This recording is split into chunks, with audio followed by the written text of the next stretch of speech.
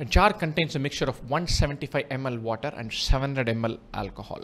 Fine, so alcohol 700 ml and then water is 175. 700 is 4 times 175. The ratio 4 is to 1. Gopal takes out 10% of the mixture and substitutes it by water of the same amount. He takes out 10% of the mixture and substitutes water.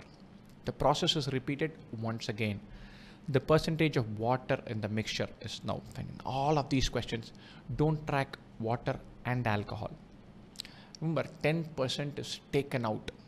That means you're going to take out 10% of water, 10% of alcohol. And then water is added. Alcohol is not added. So from alcohol, you're removing 10%. Fine. So first step, chase alcohol. Don't chase water.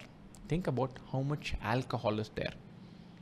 Second step, think about alcohol retained, not all alcohol removed.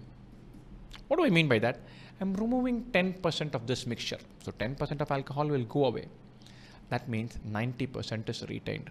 So when I do it once, the first time we do this, alcohol remaining will be 700 into 90%. One more time we do this into another 90%.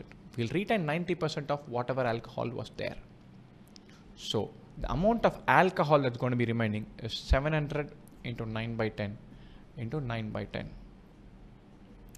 or 81 into 7 7 7 8 are 56 567 we totally have 875 ml overall mixture of this 567 is alcohol. Remaining 15 minus 7 is 8 6 minus 6 is 0 8 minus 5 is 3 308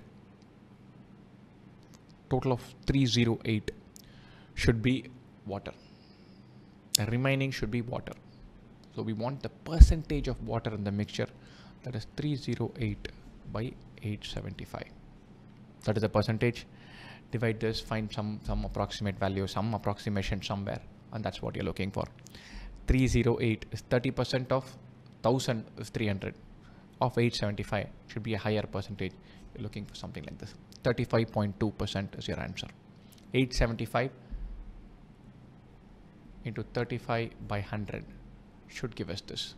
35 by 100 is a little more than one third 870 one third is 290 so this is 292 293 this one one third of this. That should be slightly more than this 308 will work out. This is what we are looking at. Fine. key point here if you're removing and replacing only one so chase the part for which you're doing only one action. For alcohol is only being removed. Water is removed and then added back. So forget water. For alcohol don't worry about removing and then at each stage think about what is removed. Think about what is being retained. 10% is removed 90% is retained. So a very simple question. The guys who are experienced will just do 700 into 0.9 into 0.9 divided by 875 100 minus this is the answer. Bam you can do this in 45 seconds. And that's what you need to be thinking about